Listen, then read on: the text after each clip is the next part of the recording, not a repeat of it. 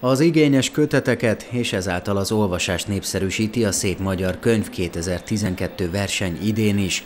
A Magyar Könyvkiadók és Könyvterjesztők Egyesülése által kiírt megméretésre február közepéig nevezhetők a tavaly megjelent és hazai vagy külhoni magyar nyomdákban készült kiadványok, összesen 8 kategóriában. Így külön értékelik például a gyermekkönyveket, a tankönyveket vagy az ifjúsági köteteket.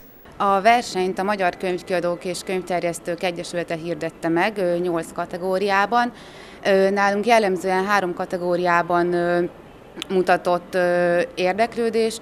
Ezek a gyermekkönyvek, az ismeretterjesztő kiadványok és a szépirodalmi könyvek. Személy szerint mi itt a könyvesboltban dolgozók nagyon örültünk a kezdeményezésnek.